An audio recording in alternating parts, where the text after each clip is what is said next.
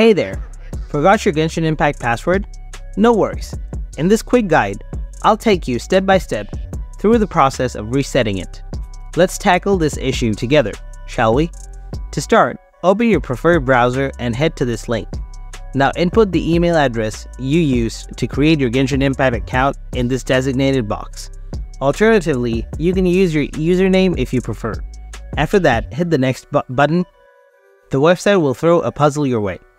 Once you've aced the puzzle, it'll prompt you to verify via email. Click on Send from the bottom box here. Next up, the website will challenge you with one more puzzle. Once conquered, a code will be sent to the email linked to your Genshin Impact account. Simply copy the code from your inbox and paste it here. Click on Next. Now enter a new password in these two boxes. Confirm your new password by clicking on the Confirm button. Voila!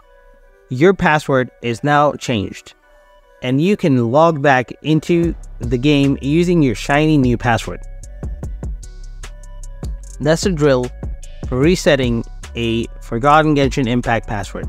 If this video did the trick for you, show some love by smashing that like button, and for more Genshin Impact tips and tricks, consider subscribing to the channel. Thanks a bunch for tuning in.